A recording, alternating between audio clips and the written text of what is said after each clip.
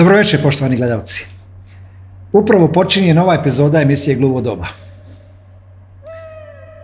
Kada malo razmišljamo o ljudskim sudbinama, veoma često se pitamo zašto se nekome nešto dešava u životu. Zašto se neko rodi tako srećan i na svakom koraku ga prate lovorovi, venci, a, novac, velike ljubavi, Jednostavno čovek ima u životu neku srećnu zvezdu koja ga vodi i sve mu ide od ruke. A opet nekome eh, kao da svakog trenutka neko podapinje nogu i gura mu klipove u točkove, čovek se sapliče, udara glavom levo desno i ne zna šta se to i zbog čega dešava. Znate, nama ljudske sudbine jesu nepoznate i uzroke mi ne možemo da razumemo uvek, ali je činjenica da se mnogim ljudima zaista dešavaju kroz ceo život koje kakve nesreće, a nekima skoro nikad ništa. Pa se onda mi pitamo da li je taj Bog pravedan i šta to radi i zašto je to tako. Ali ja ću pokušati večeras da odgovorim na to pitanje kroz e, jedno svodočanstvo a, o ljudskim sudbinama, a tiče se nečega što kod nas Srba, ne znam kako je kod drugih, e, to je verovanje u zapis kao sveto drvo.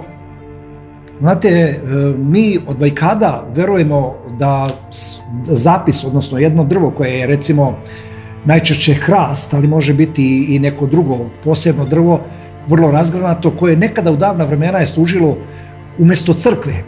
Naš narod za vreme Turaka, kada crkve nisu bile sagrađene u tolikom broju, pokušavao je da se saborno okupi i onda se sakupljao na liturgiju ili na, na tako neku, neki uh, duhovni razgovor negde ispod drveta gde su obično dolazili sveštenici, a neredko i guslari koji su pevali o istoriji i o, davnim, prošlo, o davnoj prošlosti u bitkama koje je taj narod vodio. A, a, I tako drvo je ponekad služilo kao crkva, Njegova široka krošnja je zaklanjala ljude od vetra, od sunca, ponekad i od kiše. I eh, vremenom eh, takvo drvo je postalo zapis, odnosno u drvo se urezivao krst jer je ono zamenjivalo crkvu i takvo drvo bi eh, pod određenim ritualom postalo sveto. I kroz vekove se dešavalo to da ljudi koji su bili nevernici ili inoverni, bezverni, pokušavali su da dokažu svoje pravo da Bog ne postoji, verovanje da Bog ne postoji tako što su ponekad rušili i sekli takva, drve, takva drveta, takve zapise. Međutim, taj korak bi obično bio pogrešan, jer se uskoro pokazalo da su na sebe navukli prokledstvo, ne samo na sebe lično, nego vrlo često i na kompletnu svoju porodicu, na svoje potomstvo. Dakle, sudbine su, kao što sam rekao, ponekad povezane sa eto, tim nekim drvećem, a da je to istina, potvrdio je i jagodinski pisac koga ja moram da pomenem, nažalost pokojni Nikodije Spasić, moj dobar prijatelj, koji je još jako davno, tamo negde 80. i neke godine, ili 90. godine, tu negde izdao jednu knjigu koja se zvala Seča zapisa. Nikodi je bio dobar istraživač. Bio je jedan ovako, kako da kažem, ne svršeni e, etnolog, ali je jako volio da istražuje kao ja te neke ljudske sudbine vezane za, za religiju i za ono što, što mi kažemo da su ovaj prokledstva. I on je napisao knjigu Seča zapisa koju sam ja jako davno čitao i kroz e, maglu se sećam dosta tih primjera, slučajeva gdje su ljudi nakon što su posekli zapis ubrzo nakon toga doživjeli neku nesreću. Ili oni ili neko njihov. A jednu takvu sudbinu doživjela jedna porodica a, iz Kalenića, to je ono predivno selo gde se nalazi manastir Kalenić i zaseoka Krečana. Ako ste gledali epizodu Govor voda, tamo ste mogli da vidite Krečanu u jednom kratkom intervjuu, odnosno jednom insertu, i mi se spremamo da još jednom odemo u Krečanu da snimimo jednu epizodu, ali smo nedavno čuli od jedne mlade žene koja nam je ispričala slučaj koji se desio u njenoj porodici još tamo negde u prošlom veku, gore u Krečani, kada su tri brata, želeći da podele imane, imanje, rešili da poseku zapis koji je bio na međi između njihovih njiva. I taj sudbonosni korak se kasnije odrazio na celu porodicu i na njihove živote. A šta se to dogodilo? Evo sada ćemo da čujemo.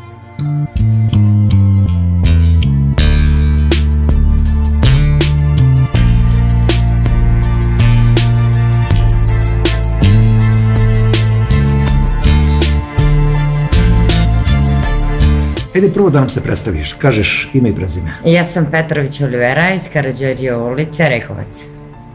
Odlično, ti si mi malo preispričala nešto fantastično, znači... Ja sam tebi ispričala, Bobane, ljubas, živu istinu, koju je meni ispričala moja nana, koja najviše voli na svetu. Ko ne zna što je nana, to je baba, brate. Šta je to ona doživjela? Kakve to priče ona pa, tebi pričala? Pa, e ovako, ona to nije doživjela, ona je bila u trbuhu svoje majke i ona je iz Kaleničkog prnjavora To je to, ko zna gde je to, ko ne zna, nek pronađe na mapi, nek se raspita, meni je sve jedno. Zasela Krečana. Prosto je ona iz Krčane, tako je, u Kaleničkom prnjavoru. To je bukvalno kao kad ste pod okriljom ostrga. Meni je potpuno sve jedno, ja ću samo prosto vama da ispričam što je meni moja nana pokojna ispričala. I puno toga puta sam je pitala da mi ispriča opet i opet i opet. Prosto, o, oni su u Kaliniću, moja nana je bila u trbuhu sve majke. Njen otac je imao još dva brata, to su bila tri strica, koji prosto su živeli zajedno. To nije bilo podeljeno, to je prosto bilo tako i gde su oni rešili umeđu vremenu da se podele, da svako ima svoje. Međutim, dobro, oni su sve to krenuli da odrade, međutim, a, na tromeći je bila jedna kruška koja je bila zapis. I ta tri brata su znala da je to zapis. Međutim, oni su bili tako tvrdoglavi, pro, prosto su hteli da protivoreče Bogu i oni su se poneli tako naopako da je prosto meni žao i dan danas i negde postoje posledice, ali o tome ćemo posle. Da jednostavno oni, oni kažu da ne veruju Boga, a znali su da je to drvo zapis, Svako drvo zapis ima svoju neku posebnu priču gde to svako neko zna. I oni su po, počeli da seku tu krušku koja je, boga mi, obimno bila jako fina. I od jednog, od brata, tri, je žena već je bila porođena, dakle imala je malo dete, gde je brat od od nje rekao dođi da podiš to dete pod ovom kruškom. Ona je to radila, podojila je to dete pod tom kruškom, gde je to dete počelo momentalno da se grebe po licu, dete kao dete beba, i dan danas to on živi u Kraljevu, on ima, on ima te po licu belege, ima govorne mane, ne mnogo velike, ali ima, dok su sva tri brata umeđu vremenu za po 20 dana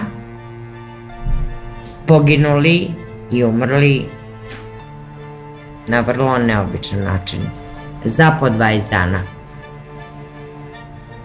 Kad je moja prababa od moje nane, pokojne rođene mi babe, dakle, krenula za Belušić, da je dete muško bilo bolesno odjednom.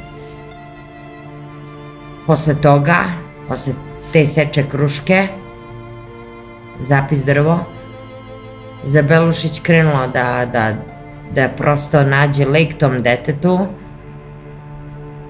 Na sredini puta je stajala žena u crnom, mala ženica u crnom, zaustavila je kočiju i pitala je moju prababu jesi ti pošla kod doktora, jesu ono tvoji kojima se to dogodilo u Prnjavoru, u Hrčani. Ona je rekla jesam. I bila je ono pa jednostavno zatečena tim pitanjem. I ona je rekla da, ja sam, kaže, dobro, ti ćeš ići doktoru, ali ja ću ti reći šta će da uradiš. Odi doktoru, vrati se kući, okupaj se, okupaj dete. Odnesi čašu vina i parče hleba. Ali u čistom belom peškiru kod tog drveta stavi. Pre nego petlovi zapevaju, odi uzmi to što ti je ostalo. Tako je rekla, to što ti je ostalo to ti je lek za dete. Dete će te ži... neće mnogo dugo, neće da doživi neku starost, rekla je, jer mi je moja pokrena Nana to ispričala, neće doživi duboku starost, ali će da živi toliko i toliko, izrodi, oženit će se, izrodit će troje dece. I to je to. Ona je pošla tim, ona kako, kako, kako je to, to je, ona je bila u čudu, naravno, kako je, i onda je pošla koče dalje, ona je pogledala samo malo ono, preko očiju, tu ženu nije dalje videla, otišla je doktoru, vraćala se na istom tom putu je žena u crnom ista stajala. Moja prababa je to prevela da je to Sveta Petka. Eto, ona je sama to prevela, ispričala svom pokolenju, svoj... I, eto, moja nana je meni ispričala. Znači, svoj čerki na kraju krava. I kad se vraćala moja prababa s tog puta, ona je isto zaustavila kočiju, ovako, I rekla je, bila si doktoru? Ona je rekla, jesam. Jesi zapamtila šta sam ti ispričala? Ona je rekla, jesam. Ona je rekla, ja ću ti ispričati još jedan puta. Dakle, kada ode kući, da se okupa, da okupa svoje dete, da odnese čašu vina, da odnese parče hleba u, u belom peškiru, ali da to bude čisto da odnese kod tog zapisa šta ostane, da to uzme pre nego petlovi zapevaju, da ode da uzme i da to da svom detetu. Kaže, se upamtila, kaže, jesam. E sad, kaže, idi. Koče su pošle, moja prababa je isto preko oka pogledala iza žena nije videla, kao ni kad je krenula doktoru, uradila to. Ispričala svoje jetrvi Emily,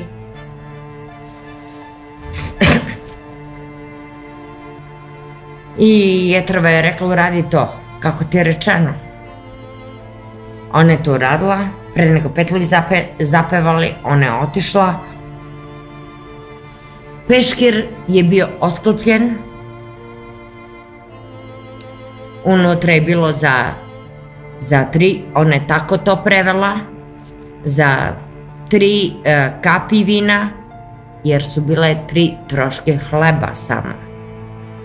Ona je to videla, ona je to uzela, ali ona to, ona je počela da kuka iz glasa. Kad je, ona je to uzela, ali je, ali je prosto kukala iz glasa. I ta njena jetrva Emilija je to čula, njeno, njen plač, kuknjavu, izašla ispred i pitala je Ljubice zašto ti tako kukaš. Ona je rekla pa vidi kaže Emile šta mi je ostalo. On je njoj rekla pa tebi je rečeno ono što je ostalo to ti je lek za dete. On ti neće da živi 100 godina, a će živi 34 godine, pre toga će se oženi, imaće troje dece, to je cijela priča. Tako je bilo. I ona je došla kući, dala je to detetu, te troške hleba, tri, i to vino što je ostalo za tri kapi, nije ni bitno. I on je tako živeo, tako je prošao, međutim, on je kad je napunio te 34 godine, on je vrlo bio moćan ovako rečit, izražajan, kako god okreneš. I on je smatrao da je to cijela moć, da je to to. On je sišao u selo dole, dakle od Krečane dole u selo i onda su on negde to nagovestili kao takmičima se ko može iz duške, iz duške da popije pola litre ljute rakije. I onda se on javio, on može. I on je to popio. I on je tu pobedio. Popio su krečano, ušao u kuću, legao i umrao. Kao što je rečeno da će umreti u 34. godini života. Pre toga je stvorio familiju, tako je, troje dece, tri čerke i to. Eto, prosto, a, a od tatini brata to što su bili u zajednici i što su hteli se podele, reći ti sledeće da su svi za 20 dana, sva trojica, za 20 dana na, na, na svako na svoj način i čud, čudnovate načine pomrli.